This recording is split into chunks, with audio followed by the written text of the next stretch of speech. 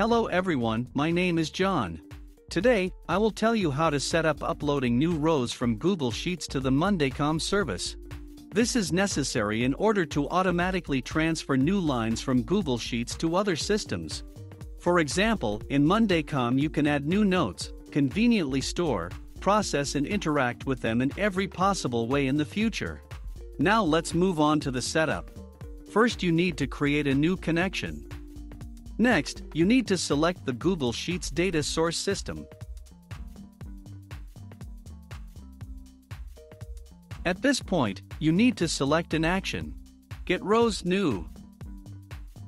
At this stage, you need to connect your Google Sheets account to the ApiX-Drive service. In this window we need to specify the username and password of the personal Google account. Next, be sure to check all the checkboxes.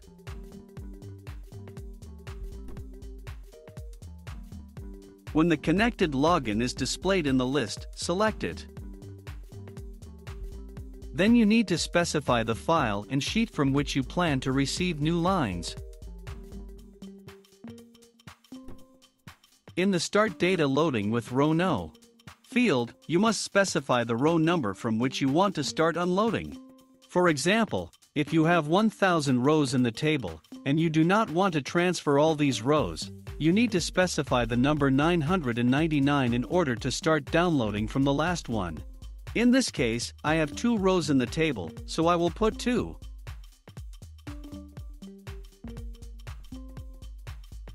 At this stage, you can set up a data filter, in this case there is no need for this, so just click Continue. At this point, you see an example of the string you specified in the settings. If you are satisfied click Next. On this setting of the Google Sheets data source has been successfully completed, now you need to move on to setting up data reception. Choose Monday.com as the data receiving system.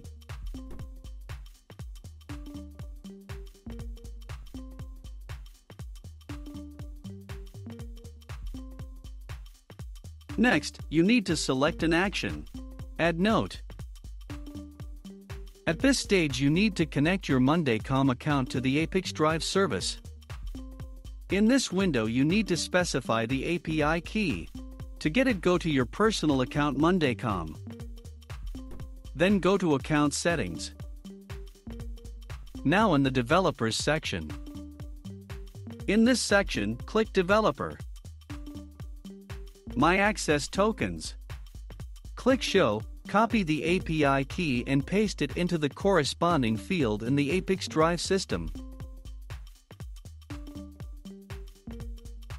When the required field is filled click Save. When the connected login is displayed in the list of active accounts, select it and click Continue. At this stage, you need to select the board to which you want to add new posts. Also, you need to specify a group. Now you see the fields for creating a new entry in Monday.com.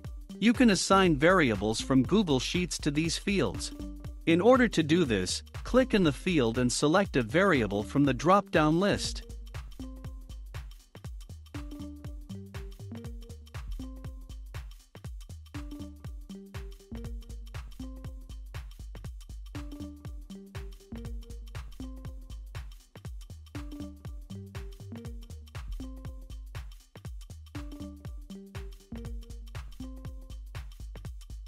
When all the required fields are filled, click Continue.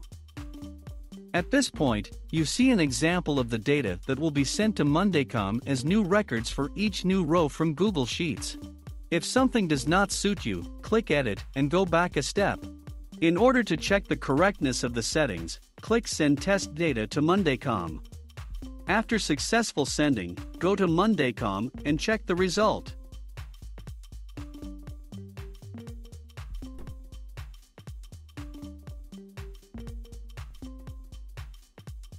If everything suits you, return to the ApiX-Drive service and continue setting up.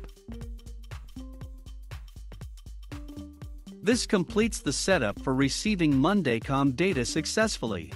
Now you need to enable auto update and select the communication interval, for example, once every 5 minutes. That's all, I wish you successful integration settings and good luck.